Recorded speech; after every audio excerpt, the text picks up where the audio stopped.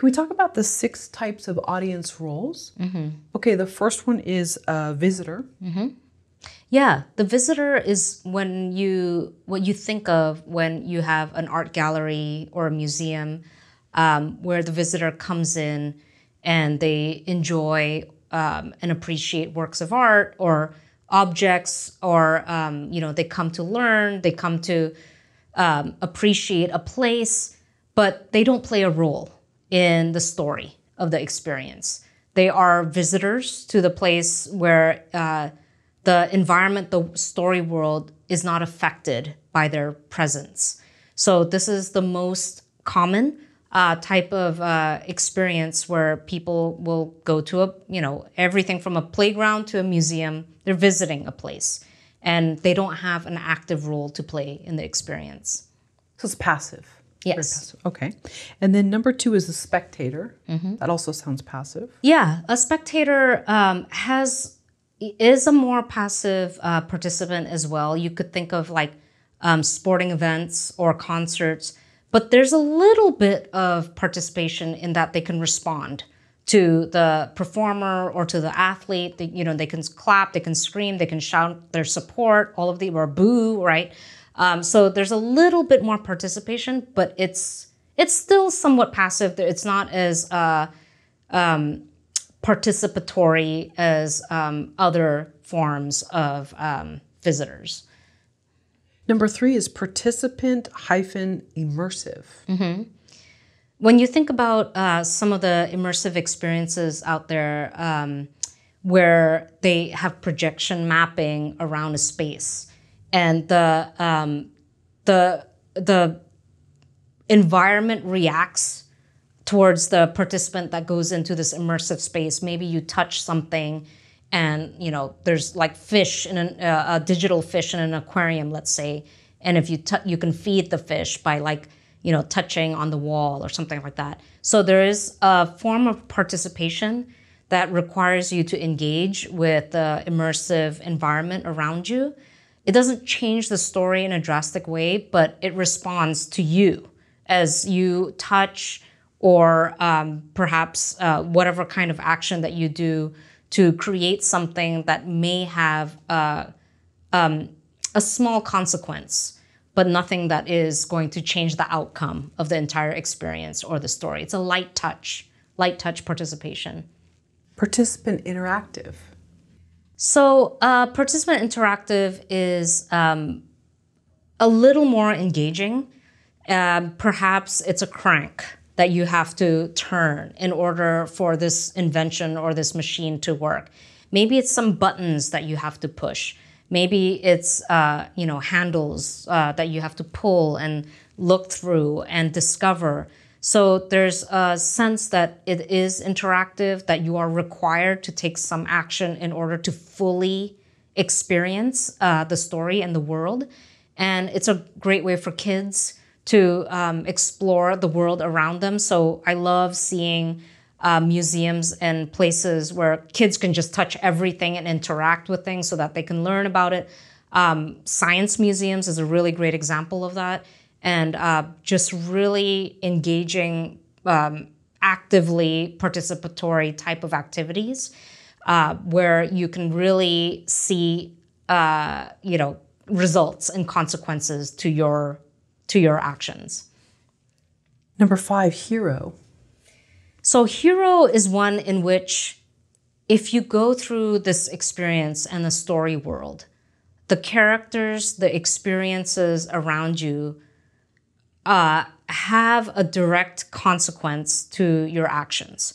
So, if you are going to meet with a character in a town, let's say in this world, um, whatever you say or do with this particular um, character is going to have very big consequences to the world.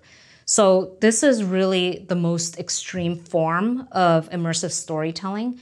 How can you, as a creator, put your visitor into a hero role where they can change the consequences of the story and the world? And again, I go back to video games, you know, gaming uh, where you truly have this opportunity to change the um, you know the choo- choose your own adventure type of format where you can um, change the outcome of your story and other characters um, outcomes as well is the most extreme form of immersive storytelling that you can do and i think we have yet to really see um, uh, an experience where they, it fully does that where you can truly create uh, an outcome that is personal extremely personal to you it's difficult and challenging because you have you know mass groups of people, visitors, audiences coming to a place. So, how can you create a story that's tailored only to you and personalized only to you when you're in this setting with crowds of people? And so, there are different ways that you can do it. There's some that um, makes it a truly personal experience or just you and one other person. If you think about like um, some of the experiences out there in the world when you're traveling, let's say, and you have a private guide who takes you through, through a safari or whatever it is, right? There's there's varying ways for you to be the hero of that story and that journey, um, but it's it's still one that we're we've touched the surface of in immersive storytelling, and I think we have a long way to go to really create something that is truly um, that truly makes you feel like you are the hero of the story. And I'm really excited to see where it can take us. And then creator, last but not least. This is one that I think, gosh, you know, when I think about where immersive storytelling can go and how I'm seeing the trends of what, you know, my kid and the younger generations are doing in their own free time. Things like Roblox and Minecraft and Fortnite, where and you know, being YouTubers there is a desire to create and express yourself in uh, uh, your own way. How do we create an immersive storytelling experience or world where we can embrace you as a creator? And this is perhaps touching on, you know, the metaverse or touching on something that, you know, AR or something that is more virtual. But is there a world where there is a combination of like the physical, the digital, the virtual, where it feels like perhaps there's no boundaries anymore, right? And it for a lot of people that can be really scary to think about, you know, what's real and what's not. Um, but when I see what's what's emerging in this world and how we all want to have that sense of ownership and uh, a sense of creation I think that this is really going to be what's going to be very exciting in this particular format of immersive storytelling. How can you create a world that is specific to you and have visitors perhaps come to your world, experience the story that you set up? We see that in TV and movies and video games. Maybe we can see that in the physical world. Maybe we can see that in a way that is um, scalable.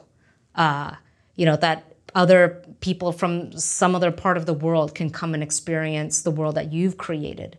And how do you create something, you know, invite others to come and co create with you? Um, how do you create environments that change with time, that evolve over time, that perhaps does it organically. I know that it, it's something that um, I'm very excited to see because it really pushes how we think about how we perceive the world and what is, you know, all my life since I was a child. I think there's always been, you know, multiple worlds that I live in in my head. And imagine if there is going to be a landscape where you can go in and out of those worlds as you please, that it doesn't just live in your head, that it can be uh, um, manifested into something that other people can see and share, and that you can continually change and evolve into uh, an ecosystem that other people can come in and collaborate as well. And again, we're seeing it in video games, we're seeing it in all of this, but how do we how can we bring that into the physical world.